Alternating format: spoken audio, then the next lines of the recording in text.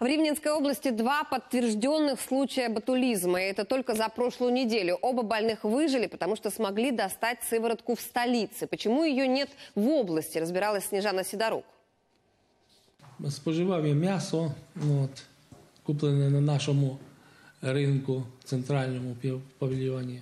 От. Приготував з нього там суп, холодець. От. Через пару годин я його, коли цей холодець застив, я його споживав. І вже в п'ятницю мені стало двоїтися в очах, і, ну і таки почалися ці симптоми. Виталий Карпюк попал в инфекционное отделение Ривненской горбольницы неделю назад, когда почувствовал, что падает зрение. Врачи заподозрили ботулизм. В лаборатории диагноз подтвердили. Пациенту вкололи антитоксическую сыворотку. Правда, в Ривне такой не оказалось. Заказывать пришлось в столице. Йому допомогла біжа праці, де він на даний момент е, перебуває. Вони самостійно, добровільно почули, що така ситуація сталася з людиною. І була замовлена сироватка, е, проплачена і доставлена.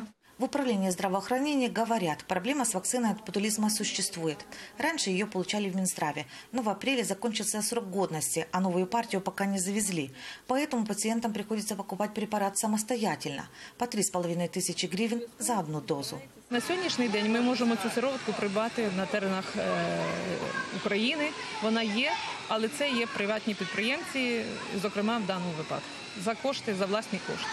Виталию повезло. Лекарства доставили вовремя, и он выжил. Но случаи ботулизма в области в этом году участились. На прошлой неделе диагноз подтвердился у двух пациентов. Под подозрением еще двое.